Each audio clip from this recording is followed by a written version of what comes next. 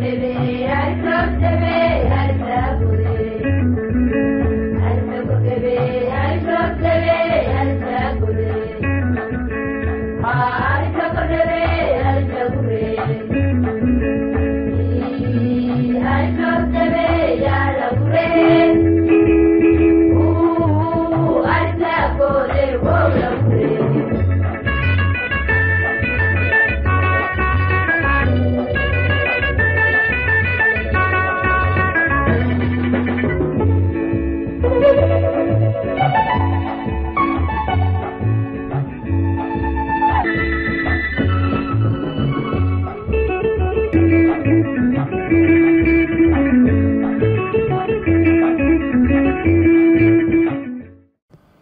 Welcome, student, to our grade 10, unit 4, lesson 24.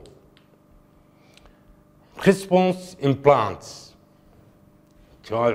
dhirta. All living organisms need to respond their surroundings. Dhammaan noolaha oo dhammi waxay u jawaabaan waxyaabaha ku wareegsan. This may be to find food, move towards the light, or avoid danger. jawaabahaasi jawaab celinta nooluhu samaynayo waxaa laga yaabaa inay noqoto mid cunto raadsi ah mid lay doonasho ah ama mid ay khatarta kaga digtoonaanayso to take information about the surroundings and then react the right way is known as coordination khabaar raadinta iyo jawaab celinta waxyaabaha ku wareegsan sida saxa loogu jawaab celinayo ayaa waxaa la yidhaahaa habka coordinationka ama wada shaqaynta. But plants need to be coordinated too. Laakiin dhirtuna waxay u baahan tahay in ay iyaduna wada shaqayn yeelato. They need to respond factors such as light water and gravity to make sure that they grow the right way up. dhirtu waxay u baahan tahay inay ka jawaabto qodobada ah ilayska biyaha gravitiga ama isjiidashada isjiidashada iyo koritaanka ay u baxayso sida tooska ah plants coordinate and response through a system of hormones balantisku waxay ku wada shaqeeyaan kuna jawaab celiyaan hab dheecaamo ah. Hormonesku are chemical messengers produced in one part of our of, of an organism and have an effect. Dheecaamadu waa fariinsidayaal kiimikaad oo laga soo saaro qaybo ka mid ah noolaha jidhkiisa waxayna leeyihiin saameyn Plant hormones have several effects on plants. Dheecaamada dhirtu waxay ku leeyihiin saameyn dhowr saameynood ayay ku leeyihiin dhirta. For example, they coordinate flowering, cell division and cell elongation. Tusaale ahaan waxay ka wada shaqeeyaan ama dheecaamadaas ka shaqaysiiyaan ubaxaynta dhirta, qaybsanka unugyada iyo dheeraanshaha ama weynaanshaha unugyada.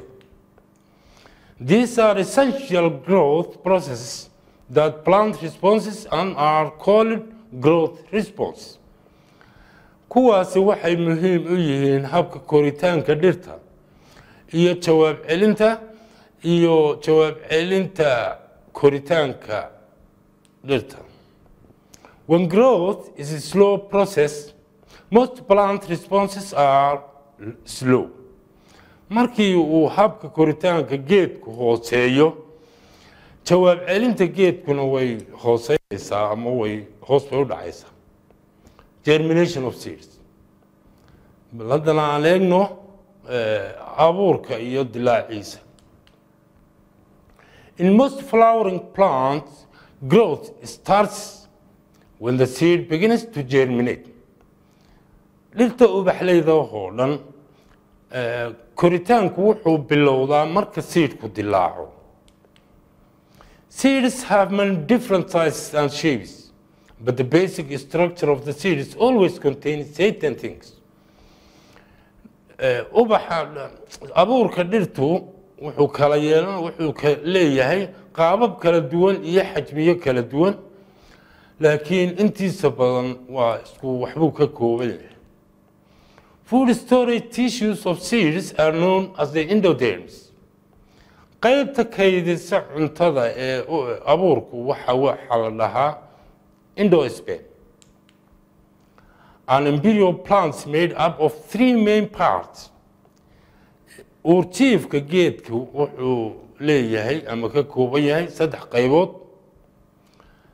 Blumil the blumil embryonic shoot waa qaybta xididka ee qaybta sare ee geedka ayaa la yidhaahaa blumil qaybta sare ee geedka the radical waa embryonic root. qaybta sare ee geedkana waxaa la yidhaahaa radical. The cotyledons embryonic leaves iyaduna qaybtana oo cotyledonka la yidhaahana waa qaybta caleemaha ah ee geedka urjiifka tester the seed coat which may be thin and papery like the covering on a groundnut or very strong and hard like the shell of a nut qaybtan teestuhu waa qolofka sare ee, abuurka oo aada u dhuuban warqadda oo kalena ah kuna daboolan eh, lowska qoloftiisa weeyaan oo kale waana adag tahay oo haadha In monocots, the main food storage is the endosperm, and the embryo remains a very small part of the seed. Dhirta halbeerayda qaybta cuntada kaydisa waxaa la yidhaahaa endosperm In- urjiifkuna wuxuu ku hadhaa waa qayb yar oo ku hadha eh, abuurka. In the endosperm moves food into the cotyledons, which becomes the main food storage. Dhirta laba beerayda ah midhaheedu labada beer leeyihiin isku dheggan waxay cuntada u dhaqaajiyaan xagga caleemaha waxayna caleemuhu halkaas oo ah meesha lagu kaydiyo cuntada The embryo with its food swallowing leaves takes up most of the seeds. embriyaha ama uurjiifku cuntadu ku kaydsan tahay wuu bararaa caleemihiisu way bararaan waxayna abuurkaana siiyaan once the food storage has been laid down and the embryo has developed the seed dries out marka cuntada la kaydiyey oo dhan la dhammeeyo geedka embriyuhu wuu qalalaa ama wuu seedkii wuu qalalaa It loses much of its wet mass and becomes dormant. wuxuu qaybtii qoyanayd ee abuurku qaybtiisii qoyanayd ama biyaha ahayd wuu lumiyaa wuu kadibna wuxuu noqdaa wuxuu galaa hogasho Once a seed is mature and conditions are right, it needs water, warmth and oxygen. markii uu abuurku qaan gaadho xaaladuhuna habboon yihiin abuurku wuxuu u baahan yahay biyo kululayn ama diirimaad iyo hawada oxygen The seed begins to germinate and chemical change takes place inside the seed. Markii seedku wuxuu bilaabaa dabadeedna inuu qarxo ama abuurku wuxuu bilaabaa inuu qarxo waxaana ku dhacaa isbeddel kiimikaad oo gudihiisa ka dhaca. The seed absorbs water. The large insoluble food molecules stored in it undergoes change. Eh, abuurku wuxuu soo nuugaa biyaha oo qaybta badan oo cuntada ah molekuulada cuntada ahee ku kaydsan ee aan biyaha ku milmin waxaa ku dhaca iyagana isbeddel. They are broken down into soluble food. Waxaa loo burburiyaa ama loo jajabiyaa kuwo cunto molekuulo cuntada biyaha ku milmi kara. The main food storage material in seeds is starch. Cuntada inta badan walxaha cuntada ee kaydsan ee abuurka ku kaydsan intooda badan waa starch. This starch storage is converted to sugars by the action of the enzyme diastase. Diastase. cuntadan la kaydiyey inteeda badan waxaa loo bedelaa sonkoro oo waxaana u bedelaa dhacaamo la yidhaaho diates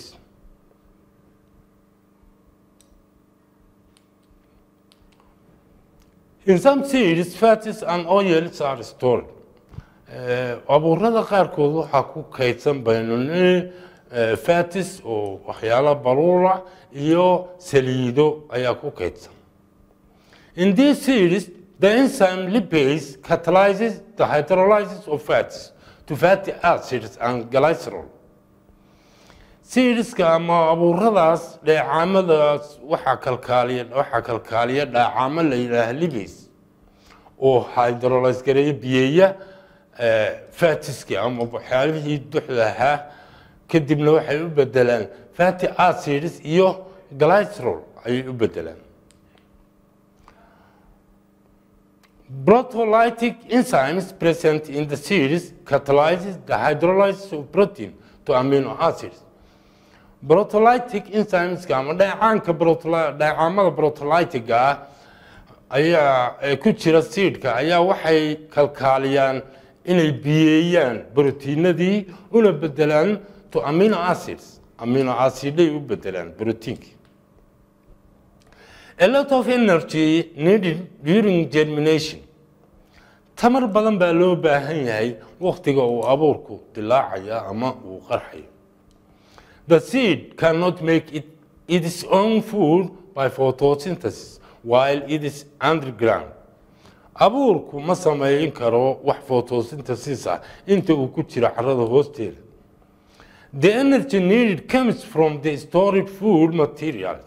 tamarta loo baahan yahay markaa waxay ka timaadaa meesha cuntadii u kaydsanayd abuurka when a seed germinates its weight decreases as a storage food is used. Markii uu abuurku qarxo ama dilaaco miisaankiisii ama culayskiisii wuu isdhimayaa maadaama la isticmaalay cuntadii kaydsanayd the decreasing weight continues until the seedling is capable of photosynthesis. Miisaankii dhimaya wuu sii socdaa ilaa uu geedku ka noqdo mid isagu samayn kara photosynthesis. This is summary of changes which occur during the germination dicot tanina waa koobid ah ka kooban marka germinationku marka uu abuurku dilaacayo laba beereyda The seed absorbs what water through the microbial small holes and swells. abuurku wuxuu soo nuugaa biyo wuxuuna ku soo nuugaa microbialka daloolo yaryar oo bararsan the tester qaybta qolofta sare oo seed codeka process and radical emerge qaybtaas kore ayaa dilaacda oo qaraxda kadibna waxaa soo baxa radicalki oo ah the radical elongates pushing the seed out of the ground. Radicalkii wuu dheeraadaa wuxuuna soo riixaa abuurkii oo dhul caradu soo riixa the blumen emerges from in between the cotyledons and produce the first true leaves blumilkii wuu soo baxaa wuxuuna ka soo dhex baxaa. Laba caleemood dhexdood wuxuuna soo saaraa geedkii koowaad caleentii koowaad oo run ah. Ibichil dicot and hybochil monocot seeds germinated in different ways. Ibichilku dhirta dicotka ah waa samaysa waa qaab germination ah ama qaab abuur qarxid ah hybochilkana waxaa sameeya monocotka kuwa halbeereyda dhirta halbeereyda abuurkooda waxayna u kala baxaan ama u kala abuuradaasi u kala dilaacaan siyaabo kala duwan.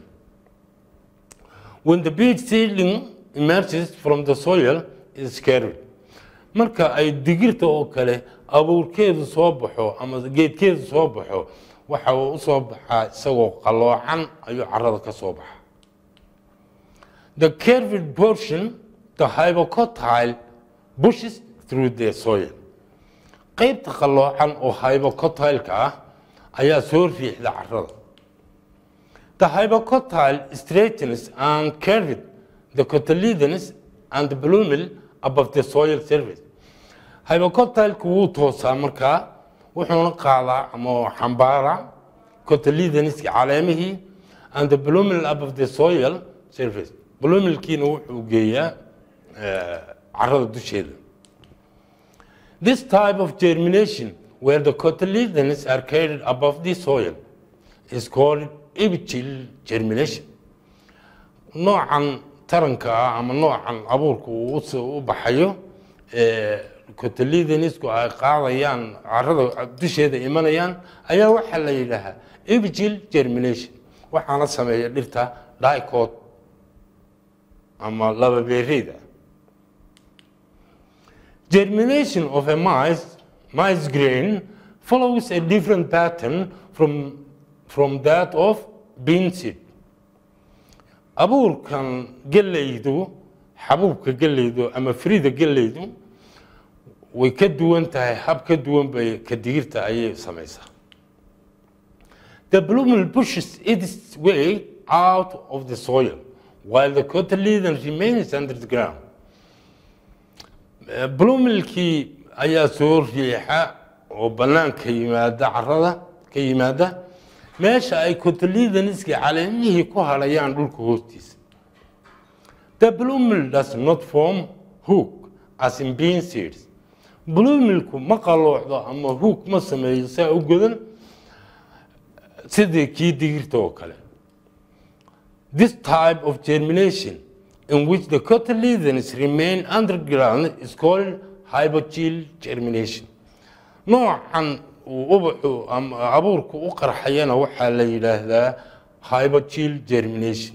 waxaana sameeya dhirta halbeereyda ama firileyda other examples of grains inhibiting hypochil germination are wheat sorghum millet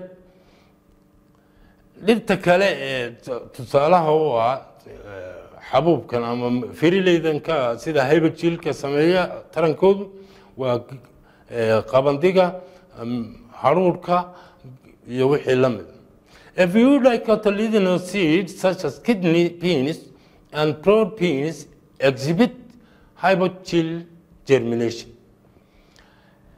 dhir ka mida qayr ka mida dicotyledonouska abuurka dicotyledonouska sida laba beereyda sida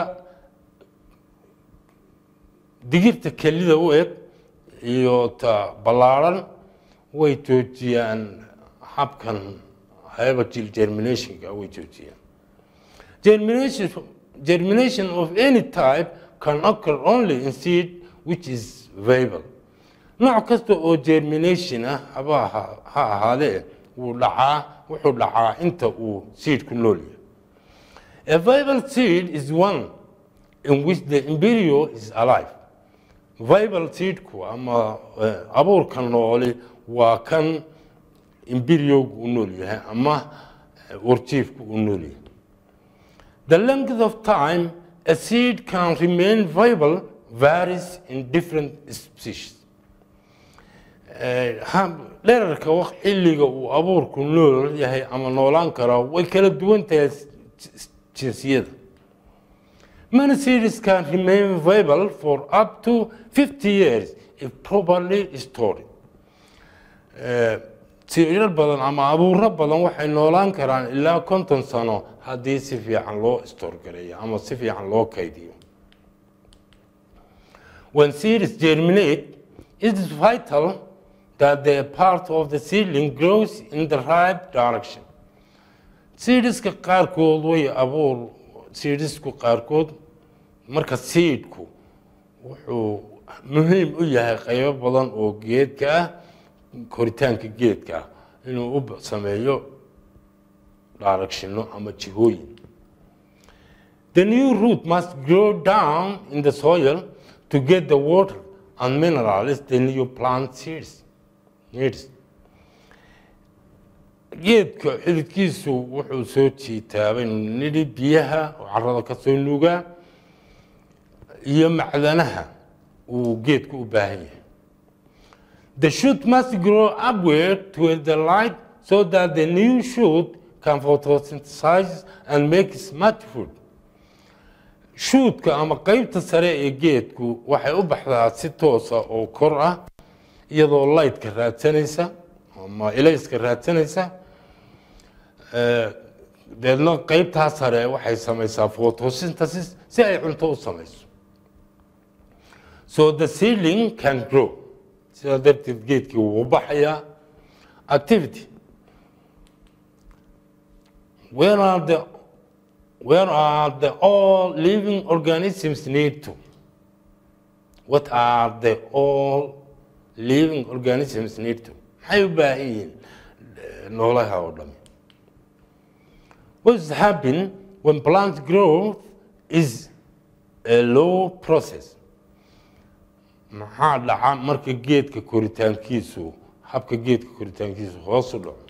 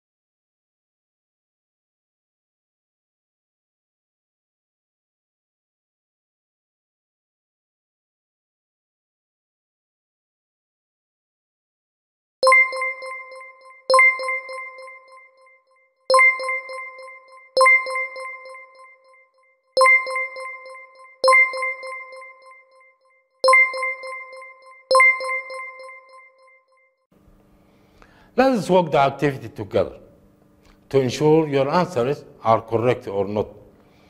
bal hadda aan ka wada shaqeyna activity-gii ardayay si aad u hubisaan in jawaabihiinu yahayn kuwa saxa iyo inayn ahayn all living organisms need to respond their surroundings dhirta oo dhamme waxay u baahan tahay maxay inay u jawaabto waxyaabaha agagaarkooda ama deegaanka ku wareegsan when the plant growth is a low process most plant responses are low.